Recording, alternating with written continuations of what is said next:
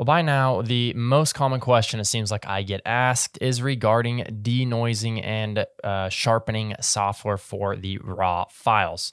Um, back in the last few years, I've done a lot of testing about what is actually the best denoiser. And then, of course, Lightroom just a couple years ago released a much improved denoise for within Lightroom, Lightroom Classic, uh, as well as Photoshop and Adobe Camera Raw. And then Photoshop even has capabilities now to do third party denoise as well. Um, so, with that being said, a lot of people are wondering if these third party software are actually worth it, if they're better than Lightroom, or if they're just simply not worth it. And in today's video, that's what I want to talk about a little bit. I'm going to be showing you what I think after doing much, much testing between different um, brand of software. I think the absolute best option for denoising your photos, whether it be astro, wildlife, landscapes, portraits, anything else, it is definitely uh, DxO Pure Raw 5. And so I'm going to talk about if I think that software is worth it when it comes to stacking up with Lightroom and if it's something that you should invest in this software because obviously if you already use Lightroom, um, even though it does cost money, it's not an additional cost on top to buy that other software. So is it actually worth buying? So let's jump right in there and let's just compare the two. We're going to compare both results and then how they work. Um, right now, I'm here in Lightroom Classic. And I'll just show you on this photo here.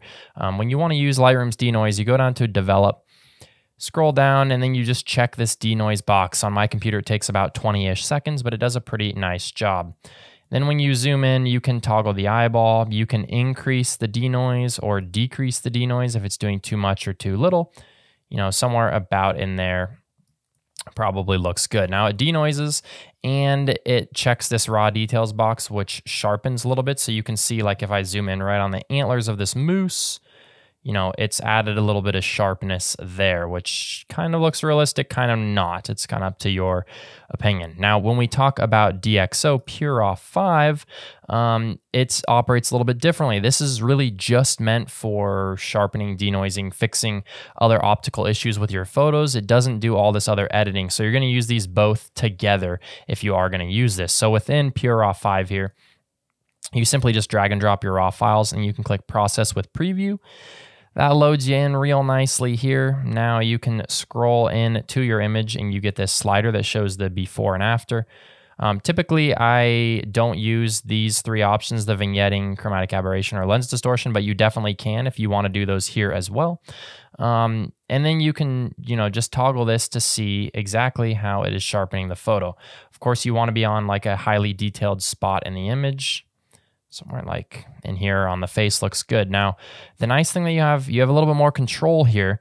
You don't have to use it. You can just use a preset and send it through. But if you want that extra control, you do have it here. So you have this luminance, which is essentially how strong the denoise is going to be. But then you also have force details. Usually I leave the force details all the way at the top. Uh, the luminance I'll adjust until I feel like it is just about right. And then you have these optical corrections for lens sharpness optimization. Now, this is really nice because you can see before and after. So this gives it just a little bit of sharpness on top. Maybe I'll zoom in here. Make sure you're watching this in 4K if you have the internet connection for it. Before, this is with no lens sharpness, and this is with the lens sharpness. Now you can bring this down if you felt like it was a little bit overcooked. Um, but that is super, super easy to do. Now, additionally, if you were editing a whole batch of photos, you could go in here, fine tune this, and then you can save this as a preset. And then when you go back to your Lightbox, select all the photos and then process them all at once. And then you could reload them into Lightroom.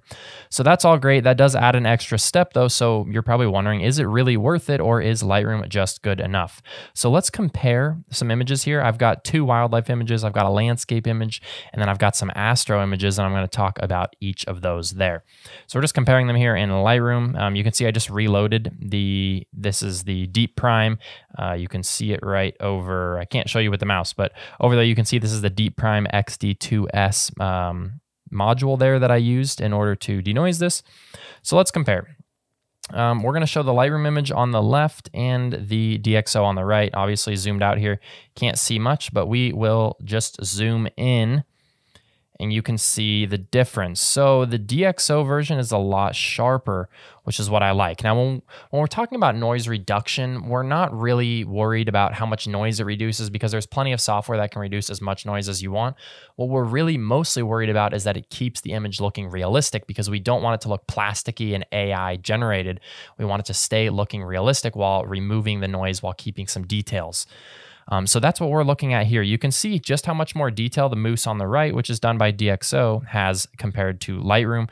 There's no way to like increase the sharpness of this when you use the denoise in Lightroom, but you can see so much sharper on that DxO image. You can actually see the hairs here. Here they're kind of blurry.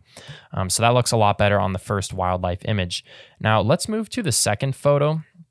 Uh, one thing that I might do here, just quickly go into develop and I might just increase the exposure. Let's just increase it one stop. That'll allow us to see the detail and the noise a little bit better. And now we'll go in here, select both. We've got, again, Lightroom on the left, DxO on the right. We'll zoom in. This image was already a little bit blurry and not a lot of details to begin with, but you can see the DxO is looking a little bit better on this one as well. We'll maybe zoom in just a little bit more. The DxO is just picking up a little more detail. You can see that eye looks a little bit better. Uh, and then when it comes to the background, you know, they're both going to be pretty comparable. Um, but I do think the DxO has just a little bit more detail there. So it does make a little bit of a difference. Um, you can see the colors are a lot better here with some detail. This is kind of just flat and blue in there. So I'm not really liking that too much. Um, let's go back. We'll look at the landscape now. Again, compare and again, zoom in. Now this one I shot at a higher ISO to keep the leaves sharp. Now, one thing that you'll notice here on the Lightroom version is the leaves are not that sharp because there's no additional sharpening like there is in DxO. So as I zoom in and scroll around here, look how much sharper the leaves are on the right. That's just using that sharpness optimization, the lens sharpness optimization. I think it was at about 150 here.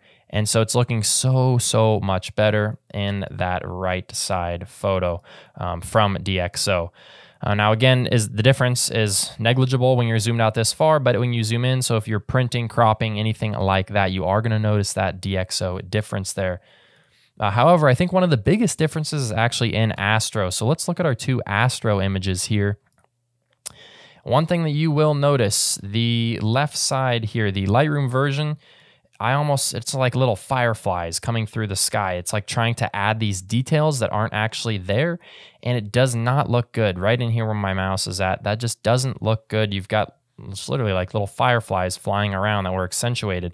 On the right side looks so much better from DxO there. And I think you're going to see the same results here on this last image it's a little bit of the same. Yeah, you can see again this Lightroom version, all these little fireflies, DxO is looking so, so much better. So another thing that a lot of people will ask about is, you know, this Lightroom is nice because it's technically non-destructive. You can go back and edit it, but what about DxO? Now, DxO just released uh, a brand new update. I believe it is the PureRAW 5.5, I believe. Uh, and that update allows you to save your image into Photoshop as a smart object. So, you know, you do your your correction, then you open directly as a smart object in Photoshop, which does make it so that it's non-destructive.